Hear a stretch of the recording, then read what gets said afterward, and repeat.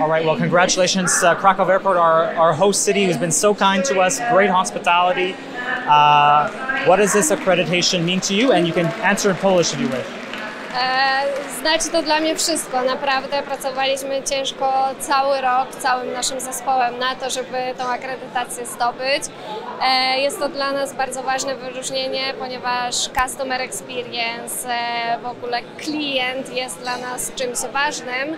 Ale też podkreślamy to, że customer employee również jest ważne i ważne jest to, że pracujemy na tą akredytację całym naszym zespołem. Więc e, gratuluję wszystkim pracownikom, pracownikom punktów informacji Need Help za to, że mamy tą akredytację. Well, congratulations again to your whole team. Great job. We hope to see you again next year, the next awards. Thank you. All right, thank, you very much. Okay, have a good night.